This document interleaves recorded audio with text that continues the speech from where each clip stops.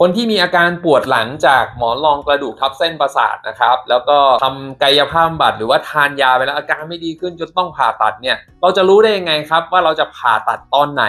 หรือว่าเวลาไหนเนี่ยมันเหมาะกับการผ่าตัดมากที่สุด หรือว่าทำยังไงเราจะ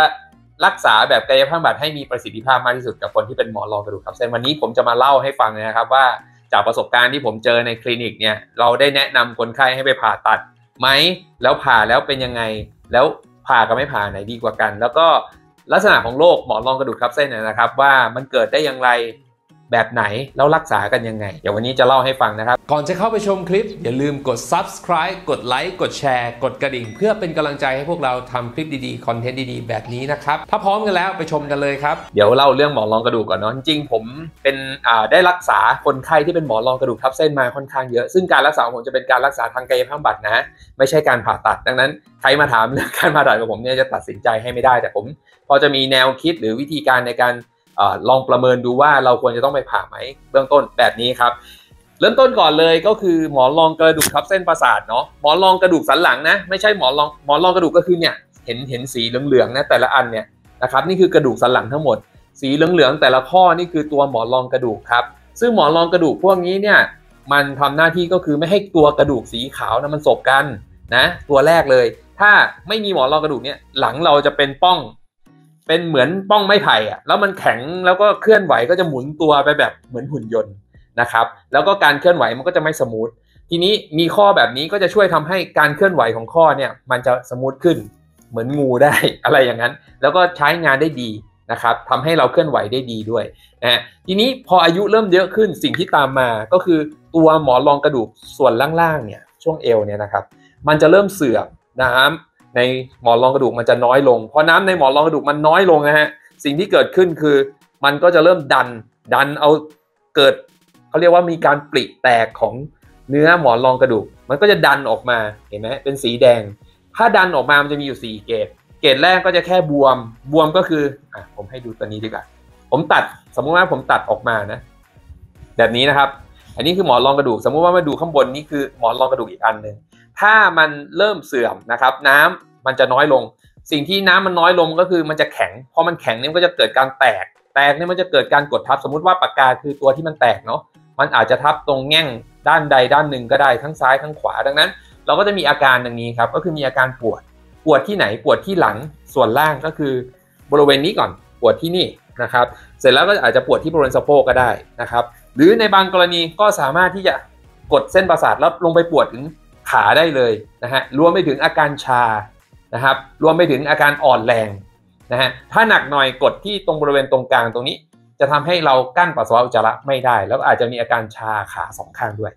นะอันนี้คือลักษณะของโรคนะซึ่งในการรักษาของหมอนรองกระดูกทับเส้นประสาทบอกไว้เลยว่าหลักๆ เลยทุกคนยังไม่เริ่มต้นด้วยการผ่าตัดเนาะเราจะรักษาโดยการเขาเรียกว่า conservative treatment หมายถึงว่า เราจะรักษาโดยไม่ผ่าตัด ไม่ผ่าตัดเช่น ทานยานะฮะหลาย ๆ ท่านน่าจะคุ้นเคยแน่นอน ทานยาหมอให้ยา คือเราจะไม่ทรมานคนไข้แน่นอน ต้องทานยาต่อมาทำกายภาพ ถ้าอาการหนักขึ้นหน่อยก็จะฉีดยาเข้าไปในไขสันหลัง ฉีดยาเข้าไปไขสันหลังเพื่อจะบล็อกนะครับเป็นยาแก้ปวดอ่าไม่ใช่ยาแก้เป็นสเตียรอยด์หรืออาจจะเป็นยาชา เพื่อจะบล็อกหลังไว้เลย เพื่อลดอาการปวด ซึ่งอันนี้อาจจะเป็นหัตถการที่จะต้องทำในห้องผ่าตัดอยู่ดีอันนั้นยังไม่พูดถึงเพราะว่ามันจะเป็นอีก part หนึ่งซึ่งจะยากขึ้น แต่ในเบื้องต้นส่วนใหญ่แล้ว 80%คือทำกายภาพแล้วก็กินยา แล้วก็พักการใช้งาน หมอนรองกระดูกพวกนี้ที่มันยื่นนะครับมี 4 เกรดเนาะ4เกรดเนาะเกรด1คือมีอาการบวม เกรด2คือบวมและยื่นยื่นแบบนี้เลยนะ ยื่นแบบนี้นะครับเกรด3คือมันแตกด้วย เกรด4คือเนื้อของมันหลุดออกมาเลยครับถ้ามันหลุดออกมาเลยเนี่ยคืออยู่ท่าไหนก็ปวดเลย ไม่จำเป็นต้องขยับบิดตัวหรือเอนตัวนะครับ ใครที่เป็นในเกรดแต่ละเกรดเนี่ยถ้าช่วงอักเสบเนี่ยอยู่ท่าไหนก็ปวดเหมือนกันเพราะมีการอักเสบนะครับ ซึ่งวิธีการรักษาแน่นอนครับ ก็ไม่ผ่าตัดเป็นหลัก แต่ถ้าอาการมันเริ่มแรงขึ้นทีนี้ก็จะมาเข้า concept แล้ว อาการเป็นเท่าไหร่มันถึงจะต้องไปผ่าตัดใช่ไหมก็นี่ไงฮะตัวที่บอกก็คือว่าถ้าเผื่อว่าหนึ่ง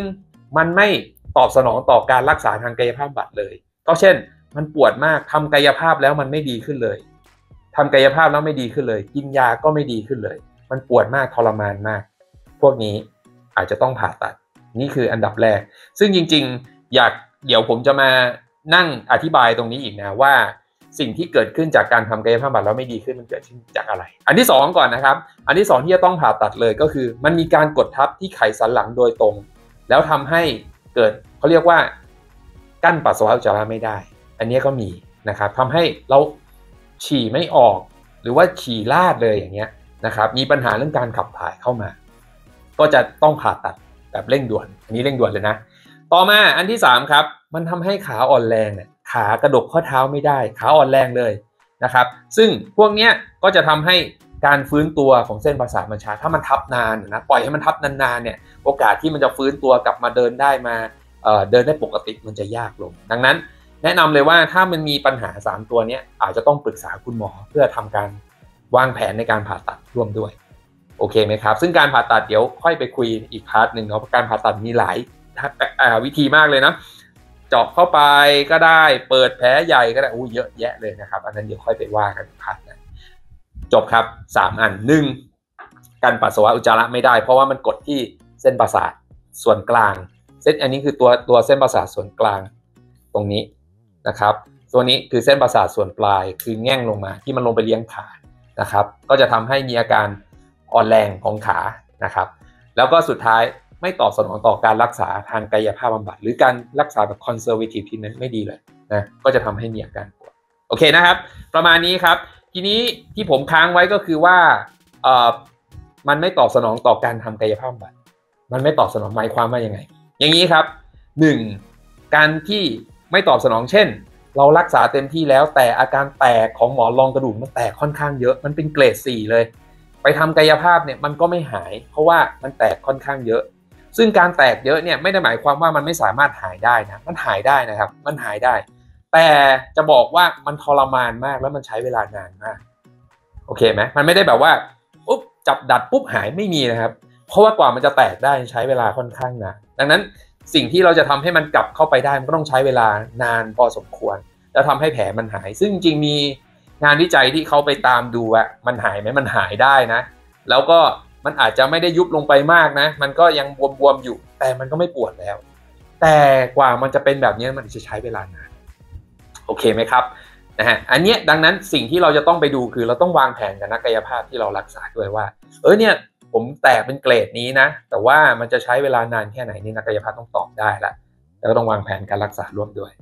โอเคไหมครับ ซึ่งอาจจะต้องใช้ยาอาจจะต้องทำกายภาพร่วมด้วยก็ว่ากันไป แต่ว่าแต่ละคนก็จะมี condition ที่ต่างกันคือ เช่น บางคนก็สามารถที่จะออกกำลังกายท่าบริหารได้ตามนักกายภาพบอกเลยนะ แต่บางคนก็บอกว่าฉันออกไม่ได้เลยอะต้องไปทำงานตลอดเวลาสุดท้ายเขาเรียกว่า condition ของแต่ละคนมันไม่เหมือนกัน บางคนก็ดูแลตัวเองได้เต็มที่ ใส่ใจทำท่าบริหารได้ อาการดีขึ้นตามลำดับ แต่บางคนก็ดีขึ้นนะ แต่ว่าเราก็ต้องไปนั่งทำงานเวลานานก็มีข้อจำกัดที่แตกต่างกัน ดังนั้นในในแต่ละคนจะไม่เหมือนกันเลย บางคนบอก โอ้ฉันไม่ผ่าดีกว่า บางคนบอกทำกายภาพดีกว่า ก็ได้ไม่ไม่เหมือนกันเลยครับ แต่ละคนไม่เหมือนกันนะครับสุดท้ายก็แล้วแต่แต่ละคนเช่นเดียวกัน ซึ่งในการผ่าตัดก็ไม่ได้หมายความว่าทุกคนจะหายร้อยเปอร์เซ็นต์เหมือนกันนะฮะไม่มีอะไรที่รักษาได้หายร้อยเปอร์เซ็นต์นะครับ มัน ผ่าไปแล้วอาจจะผ่านไปอีกสัก 5 ปีก็จะกลับมาเป็นอีกก็ได้เหมือนกันอย่างเงี้ยฮะดังนั้นสิ่งที่ดีที่สุดก็คือการรักษาที่มันค่อนข้างที่จะไม่รุนแรงกับร่างกาย เช่น ถ้าฉีดก็ให้ฉีดให้น้อยฉีดเข้าไปที่ไขสันหลังก็พยายามหลีกเลี่ยงเราก็จะเน้นการทานยากับทำกายภาพ ถ้ามันจำเป็นมันไม่ดีขึ้นอาจจะหนักขึ้นอีกเช่น การฉีดยาเข้าไป ถ้ามันไม่ไหวจริง ๆทำกายภาพทำนู่นนี่นั่นไม่ดีขึ้นแล้วคอนเซอร์เวทีฟไม่ดีขึ้นแล้วก็ผ่า ผ่าแล้วเป็นยังไงก็ว่ากันอย่างนี้นะครับ ซึ่งในระยะเวลาการผ่าของคุณหมอที่ผ่าตัดเขาก็จะมีใครทีเดียวของเขาก็คือมีข้อบ่งชี้ของเขาอยู่ ซึ่งอันนี้เราต้องปรึกษาเขาอยู่เรื่อยๆด้วย โอเค ประมาณนี้นะครับ ก็อยากจะขอขอบคุณทุกท่านที่ติดตามพวกเราอย่างเสมอมานะครับสำหรับท่านใดที่สนใจคอนเทนต์ดีๆ มีสาระใช้ในการดูแลตัวเองในชีวิตประจำวันแบบนี้ ท่านสามารถติดตามพวกเราได้ในทุกแพลตฟอร์มนะครับ ไม่ว่าจะเป็น Facebook Fanpage หรือทาง TikTok นะครับ โดยพิมพ์ชื่อว่าบัณฑิตกายภาพ ส่วน YouTube Channel ท่านสามารถพิมพ์ค้นหาในชื่อว่าบัณฑิตกายภาพบัตรและจัดกระดูกนะครับส่วนท่านที่ใช้ Line นะครับก็สามารถจะติดตามพวกเราได้ทาง Line Woom นะครับโดยพิมพ์หาคำว่า แอดบัณฑิตฟิสิโอนะครับสำหรับวันนี้ขอลาแต่เพียงเท่านี้แล้วพบกันใหม่คลิปหน้า สวัสดีครับ